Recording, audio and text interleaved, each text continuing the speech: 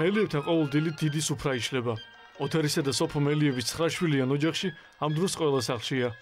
სხვა ოჯახებისაგან განსხვავებით მშობლებს ყოველ დილით ბევრი შვილის გასტუმრება უხდებათ სამსახურში სკოლასა თუ საბავშვო ბაღში.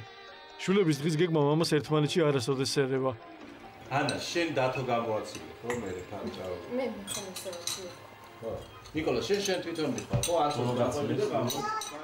ოჯახში ყოველს თავისი როლი და ყველაფერს თავისი ადგილი აქვს. ერთმანეთის შრომის ფასი იციან. საუზმის შემდეგ ყველა თავისებს აღაგებს ასე უფრო ადვილია 11 სულიანი ოჯახ სახელმწიფოს მართვა და ერთმანეთისთვისაც მეტი დრო რჩებათ. მე თუ ისე და ასე პრეზიდენტები.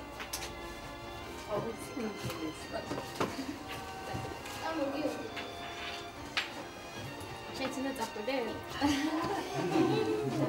შენ მე ჩვეულებრივი ცხოვრებით ცხოვრობთ და არაფერი განსაკუთრებულ მასშტაბია ცოტა დიდი, ну საქმე უფრო მეტი, რაღაც საშრომი, ბევრი მაგრამ საბოლოო ჯამში ამ ბავშვებისგან ასეთივე ბევრ სითფოს იღებ უკან და ძალიან კარგია ეს ყველაფერი.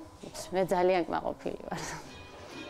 უფროსი შვილი 17 წლისაა, პატარა 10 თვის.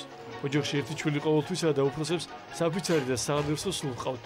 ახლა 9 შვილი და ესე არ გეგმავდით ნამდვილად და რაღაცა დრო მოიტანა ეკლესიურმა ცხოვრებმა და ცხოვრებამ და ჩვენ ერთ მამაოსაც 12 შვილი ყავს, მეორე მამაოსაც 3 და ასე რომ ბევრი ის ყავს მიმბაძველი.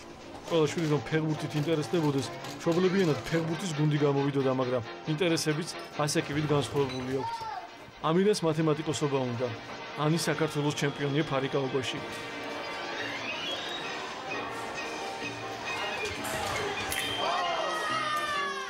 ნიკა მუსიკოსობაზე ოცნებობს. სპორტსმენიც ეყოლებათ, პროგრამისტიც, მასწავლებელიც და მალე მთელი დუნია მელიები იქნებიან.